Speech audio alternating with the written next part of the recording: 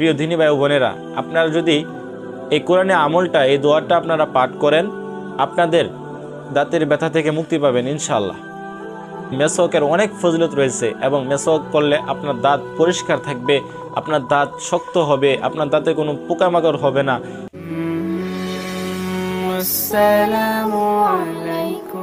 ইনসাফ হোলি মিডিয়া। আসসালামু আলাইকুম রহমতুল্লাহ বরকাত নাহমদ আল্লাহ রসুল করিম আহমাবাদ সুপ্রিয় দর্শক, আপনাদের অনেকেরই প্রায় সময় দাঁতের ব্যথা হয়।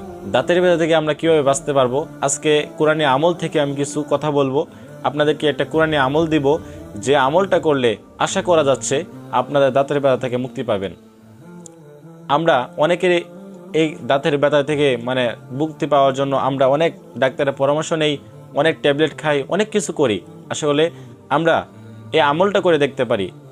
আশা করি আপনাদের এই আমলটা করলে আপনাদের দাঁতের ব্যথা ভালো হয়ে যাবে ইনশাল্লাহ তাহলে আসেন আমরা আগে দোয়াটা জেনে নিই তারপর আমরা নিয়মকানুন কিছু শুনে নেব ইনশাল্লাহ আগে দোয়াটা শিখে নিই قل هو الذي أنشأكم وجعل لكم السمع والأبصار والأفئدة قليلا ما تشكرون قل هو الذي أنشأكم وجعل لكم السمع والأبصار والأفئدة قليلا ما تشكرون قل هو الذي أنشأكم وجعل لكم السمع والأبصار والأفئدة قليلا ما تشكرون এই হচ্ছে দোয়াটা দোয়াটা আমি তিনবার পড়ছি আপনারা এই দোয়াটা যাতে শিখতে পারেন এই জন্য আমি তিনবার পড়ছি।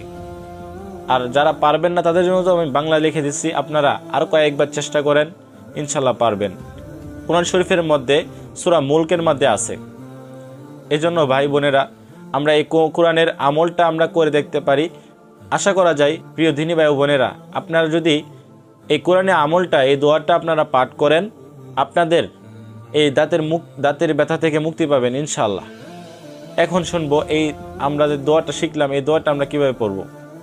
এজন্য আমরা এই যার দাঁতের ব্যথা থাকবে, দাঁতের উপর ধরবেন এভাবে হাত দিয়ে ধরবেন ধরার পর আপনারা এই দোয়াটা কমপক্ষে নিম্নে সাতবার পড়বেন।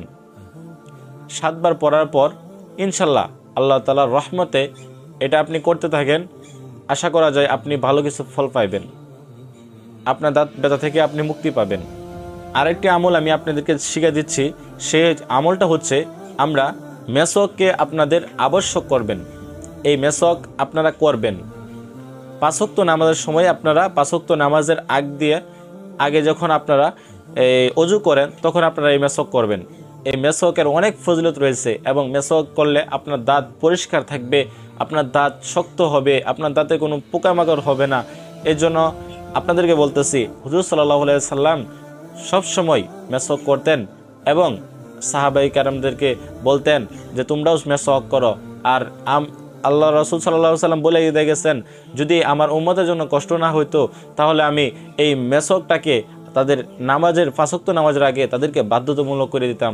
আজকে আমরা এই মেসক থেকে গাফিল হয়ে গেছি। আজকে আমরা বুঝি না যে আমাদের মেসক করতে হবে। প্রিয় ধিনী ভাই ও বোনেরা, আশা করা যায় আপনারা এই এই ভিডিও থেকে কিছু হলেও শিখতে পারছেন। সবাই ভালো থাকেন সুস্থ থাকেন। আল্লাহ হাফেজ। আসসালামু আলাইকুম রহমতুল্লাহি বারকাতু